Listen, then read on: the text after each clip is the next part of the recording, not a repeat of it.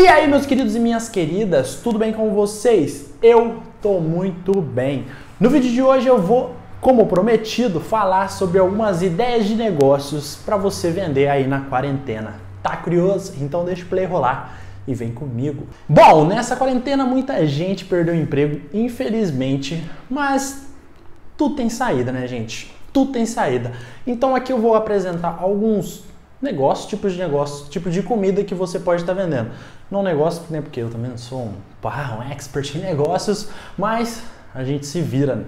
É, realmente. Calma, calma. Lembrando que essas ideias aqui vieram também por conta da minha cidade, então cada um tem que adaptar a sua realidade.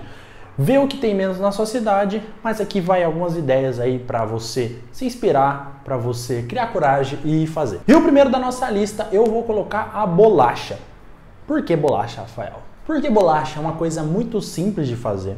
Você não vai precisar de tanto dinheiro assim para comprar os ingredientes e tem uma infinidade de bolachas que você pode fazer. Você pode fazer bolacha de ninho, bolacha de chocolate, gengibre, limão e por aí vai.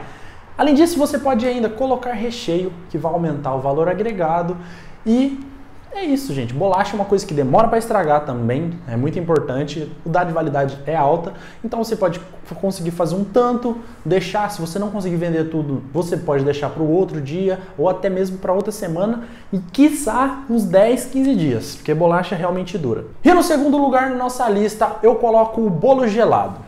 Faz tempo que eu não vejo ninguém vendendo bolo gelado e é uma coisa que, pô, todo mundo gosta. Bolo gelado é muito fácil de fazer e realmente eu acho que vai ser muito fácil de vender. Porque hoje em dia muita gente vende bolo gourmet, bolo de pote, até mesmo os bolos caseiros, mas o bolo gelado, para mim, pelo menos aqui na minha região, parece que deu uma esfriada.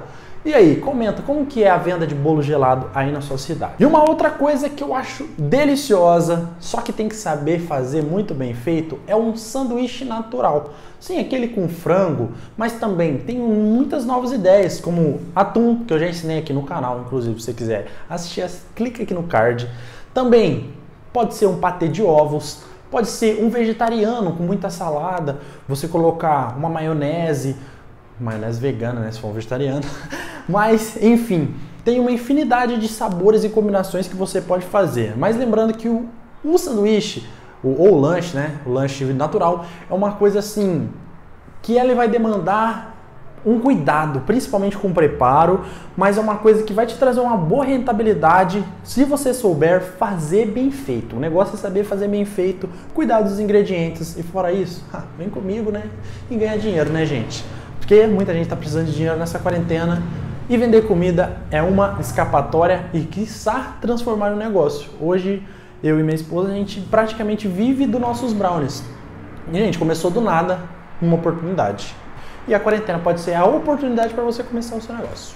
Uma outra coisa que eu vejo que também precisa de um cuidado por ser bem feito é uma torta salgada, ou até mesmo uma torta doce, mas principalmente uma torta caseira salgada, sabe aquelas tortas de vó? Muita gente tem preguiça de fazer, não se esqueça disso. Você vai lá e faz. Bem feito, tem receita no canal e fica essa outra ideia. E um que eu achei muito bacana, que eu vim pensando, é tempero caseiro. Sabe aqueles temperos que vende no mercado de alho batido, de alho triturado mesmo? Você pode fazer na sua casa, é muito simples. Você só vai precisar de poucos ingredientes, que vai ser cebola, alho. Se você quiser colocar tempero como alecrim, cúrcuma, daí vai muito da sua criatividade e também você só vai precisar de um pote de vidro. As únicas duas coisas. E esse tem um valor agregado muito alto e o pessoal tem uma procura. Então essa aí eu acho que é a dica master do tempero. Inclusive, eu fiquei com vontade de fazer, só não faço porque realmente não tem tempo mais para fazer. Esse tipo de coisa, sim, vai inventando. E outra coisa também que eu não podia deixar de esquecer, tenha foco. Você vai fazer uma coisa, faz só aquilo.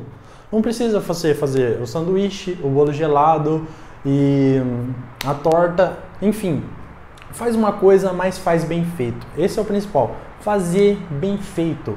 Cobra pelo preço que tem que cobrar. E falando em preço, eu vou ensinar vocês a calcularem os preços. Pode ser em um vídeo ou entre no nosso grupo de receitas do Telegram.